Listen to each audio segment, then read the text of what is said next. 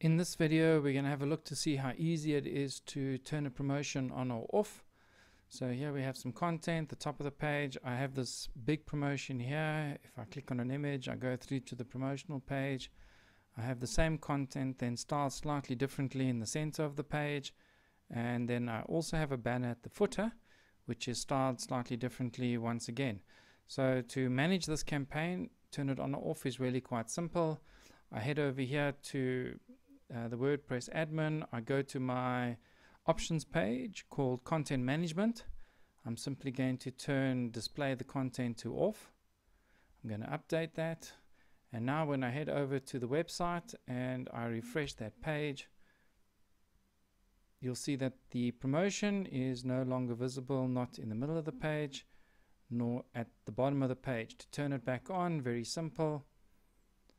Hit the on button update back to the website hit enter and the promotion is live.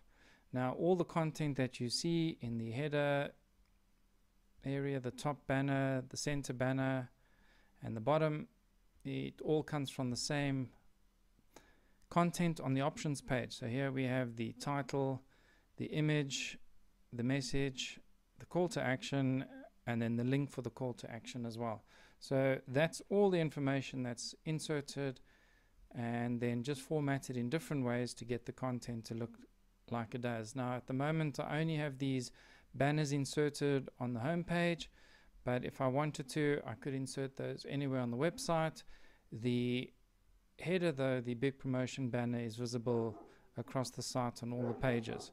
So, so let's just head back here to the home page. So we'll head back to the home page and then just show you how this is set up. So in the options page we have the promotion information and we simply have an on or an off button and that is a condition that runs within Oxygen.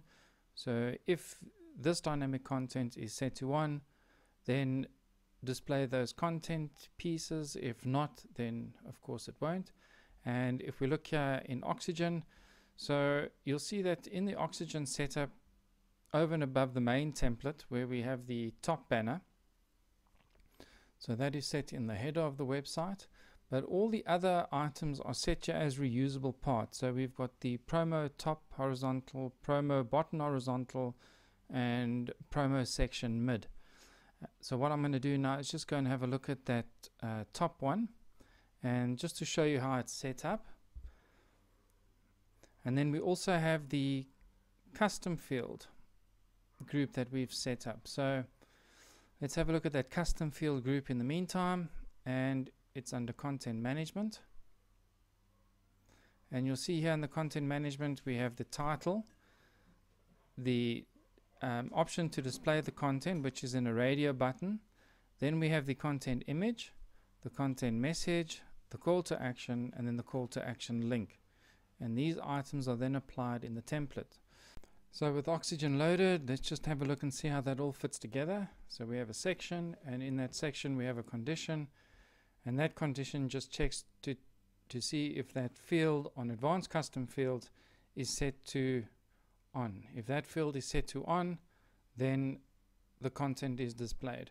Then what we've done in each content element is we've used the same elements but just moved them around to create uh, different visuals for the different um, banners and things. So in order to do that, we selected the image. And here what I've done in advanced custom fields for the image is we have an image field and we return the image ID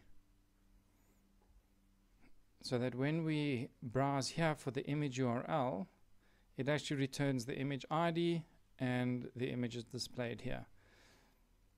When it comes to the link that you'll see on the image as well as on the call to action button, to get that link, we've assigned a link to the item and then it's just a case of going into the data. Oops, that's the image URL. When it goes to the um, link, so we've assigned a link and then to um, get the URL for the link advanced custom fields, and we have a call to action link. Select that item, and then that provides the link for the image. And similarly, to get the link for the text link, it's exactly the same thing. It's exactly the same link. And call to action link. And then that's the link that is then used for the content item. So what I'll do then, um, just to show you how that fits together, is I'm just going to then recreate uh, this particular section. So what I'm going to do now is I'm going to um, remove that. I'm going to save. And now when we have a look at the website, you'll see that even though the promotion is on,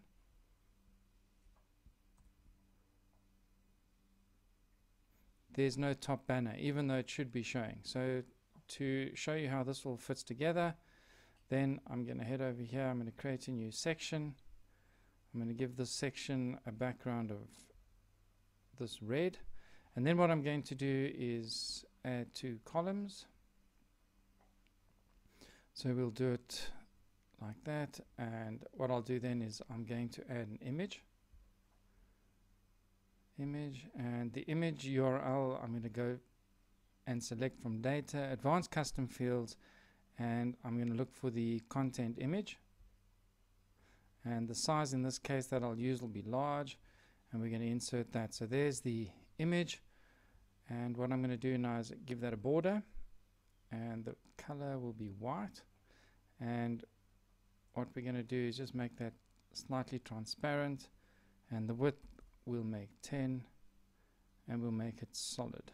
So there we have the border for the image and now to link it if somebody was to click on it we would create the link and then select the URL from the data and we'll go for the call to action link. So there we have the link applied. Now to add the other elements, so here we go, we'll add a heading and the data for the heading that will then be the advanced custom field again. And we're going to go there with the content title. We'll insert that. And we're just going to make some changes to the font size. So maybe we'll make that 50 and the font weight will drop that down to 500 right so there we have our um, heading, you'll see there's the big promotion. And maybe what we're going to do here is just put everything in the middle. Then we'll add the next um, item, which is some text. Select that text, insert the data, and select the next item. And that was the um, content message and then we're going to add the call to action. Then we add another text item and select insert data advanced custom field. And there we're going to do uh, content for the call to action. And then what I'm going to do is add a link to that. And the link there will be the call to action link. Advanced custom fields and we look for the call to action link. So there we have the items. We're going to change the text color here because we'd like that to be in white. We'll also make that text color white. And then what we do is we're just going to format this a little bit more. So we'll head over to the advanced. We'll look at size and spacing. We'll make the spacing to the left and the right a little bit more than the spacing at the top and the bottom. Then what we're going to do is add a border, but we'll just set the border radius to 5. Then we're going to set the background color, we'll set the background color to white. We'll head over to typography and we'll set the color to black and we'll change the font size, say to 30 let's change that font size to 20 and then we have the big promotion message over there Now to just have that stand out a bit more, we'll just head over and add a little bit of a box shadow to the button.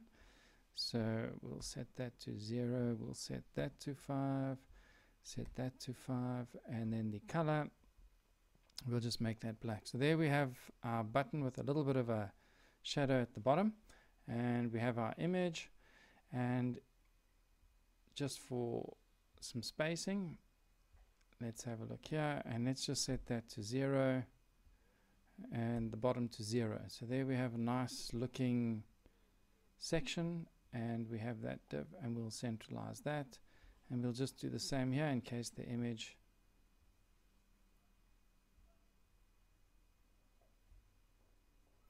right so we'll let's just head over here and set that to the center right so there we have our, our image in place and just to show you then how that works is I'll head over here I'm going to refresh the page and now you'll see that that content is visible. This was the field group. If I go over to my content management, I set that item to off, I update, and now all the content is off the page. except the condition on that oxygen element. So there we head in. We're now going to set the condition, add your condition. And what we do is we head over here to dynamic data, advanced custom fields, display content, and we know that if it is set to on, that it will display. Save. We refresh the page and now it will no longer be visible. So set to on, update, and the promotion is live. And then just to show you in the custom fields again, when it comes to the content management, so you'll see here that to display the content, we have a radio button with two values off and on, the default being off, and when set to on, then the content is displayed. The image returns the image as the image ID to get that to work inside Oxygen. That's what the setting was. The call to action, these are just text fields. Uh, the content is a WYSIWYG editor. Title is also text, and then the call to action link is the URL field. And then of course we set the custom field group to display on the options page called content management. So that's pretty much how it's done um, to have your content appear or to hide it with the click of a button. So I'd just like to say thank you for watching and I hope you enjoyed the video.